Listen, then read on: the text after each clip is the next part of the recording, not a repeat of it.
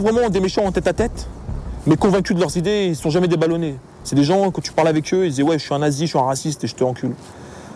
C'est toujours pareil, les mecs, c'est toujours des feufins. Mais euh, tu vois plus, comme on voyait partout dans la rue, euh, des mecs avec des drapeaux bleu, blanc, rouge dans la rue, quoi.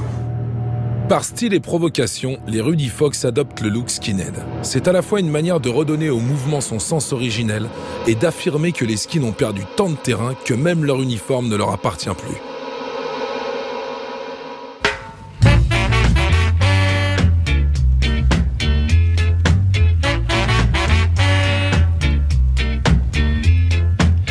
J'ai appris la culture skin à ce moment-là. Donc on a commencé à intégrer le look skin à notre propre style. Donc en fait, ça donnait une fusion entre le look des quartiers et le look des skinheads. Être en Bomber Stone Smith, euh, Bud Lacoste et euh, Follow Fred Perry.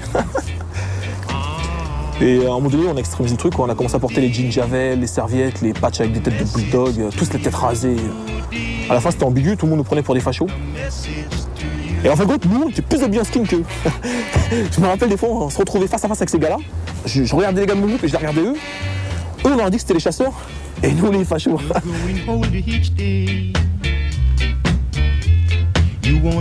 on était des skinheads à la fin, quoi. On commence chasseur, on finit skin. Mais antifasciste, hein, toujours. hein.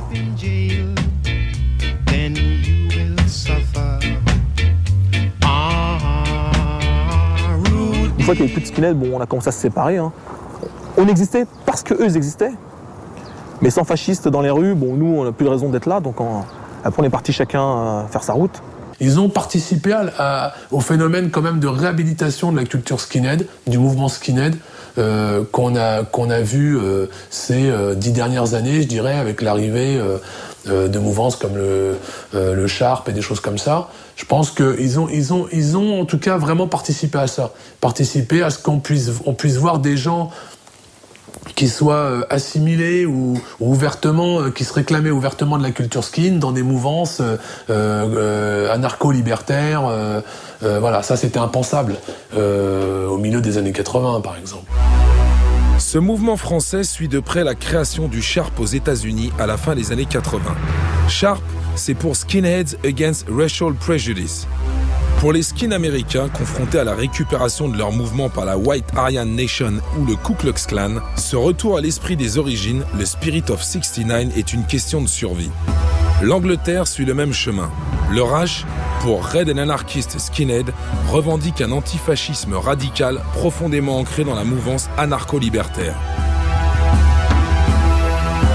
Sur les ruines des pays de l'Est et en Europe du Nord, les skins nazis s'organisent. Ce qu'on appelle désormais les boneheads, parce qu'ils ont le crâne totalement rasé, se regroupent autour d'organisations comme Blood and Honor ou les Hammerskins. Ils diffusent leur haine sur le net ou paradent aux dates symboliques pour les nazis. Mais à chacune de leurs tentatives d'apparaître au grand jour, ils se retrouvent face aux antifas.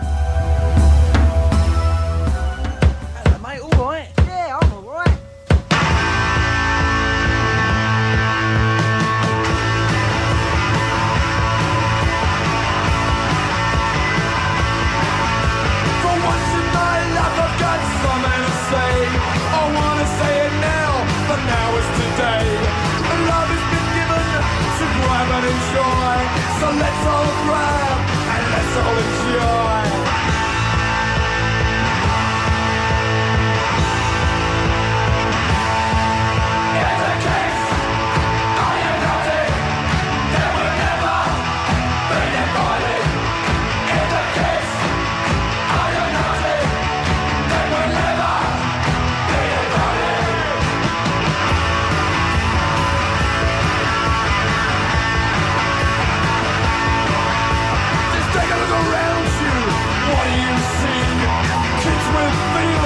Like you and me.